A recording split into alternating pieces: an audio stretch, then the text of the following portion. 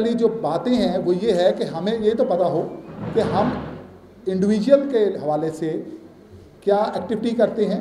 हमने इसको आज आपसे, क्योंकि हम एक दोस्तों के साथ मिलकर बड़ी अच्छी अंडरस्टैंडिंग में बेसिक्स तरीके से काम करेंगे। जिन दोस्तों को इन चीज़ों का इलम है तो उनसे रिक्वेस्ट है कि हमें, क्योंकि पहले बेसिक्स को डिस्कस करना है और इसके साथ हमारे पास मोहम्मद सुलेमान साहब, जो एन के इंचार्ज हैं एफ़ में वो आके समअप करेंगे आपके प्रॉब्लम्स को। जिन लोगों ने इस फ़ील्ड में काम करते हैं और वो डिफ़िकल्टी पेश आ रही है, जो सबसे बड़ा मसला आयरिश का है, जो आयरिश के लिए आप लोग बहुत कंप्लेंट्स करते हैं कि जनाब हमें जब हम नेट खोलते हैं तो वो हेल्ड होल्ड कर देता है, हमारा सिस्टम नहीं चल रहा।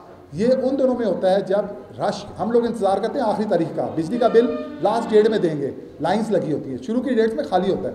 आरएस का भी यही है कि जब आप लोग पीक टाइम में काम शुरू करेंगे, वो आपके साथ हेल्पिंग नहीं होगा। कोशिश करें, ये छोटे छोटे काम जो होते हैं, वो शुरू में कर लें।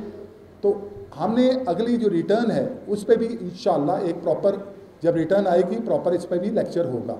तो पार्ट वन जो अभी हम, मैं आपसे डिस्कस कर रहा हूँ, इसलिए कह रहा हूँ कि आज हम इंडिविजुअल की बात करेंगे। उसके अलावा हम ये कंपनी की रजिस्ट्रेशन की बात करेंगे। हम बात करेंगे फर्म की रजिस्ट्रेशन की। हमारे यहाँ असलाह इस्तेमाल हो जाती है। कंपनी रजिस्टर्ड करवाई है हमने। अब हमारे जहन में ये हो जाता है कि जी पीवीटी है, वो फर्म है या प्रॉपराइटशिप है। इसको जब तक हम अलहदा नहीं करते, हमें कन्फ्यूज़न ही रहती है। हम किसी आदमी के पास जाते हैं, हम उसको बोल्ड ही कहते हैं कि हमें ये फ़लाँ फ़लाँ डॉक्यूमेंट चाहिए, वो समझ जाएगा कि आपको काम आता है। आप पहले उसे कहते हैं हाँ जी, हो जाएगा। और बाद में उसको फ़ोन करते हैं, आज हमें आपने रेंट डी की कापी देनी है। फिर आप फ़ोन करते नहीं जी यार, फला आपने लेटर पैड नहीं दिया। आप पहले ही उससे रिक्वायर्ड डॉक्यूमेंट्स एक ही बारी में तलब करें तो कॉन्फिडेंस नज़र आता है कि ये हाँ इनको पता है।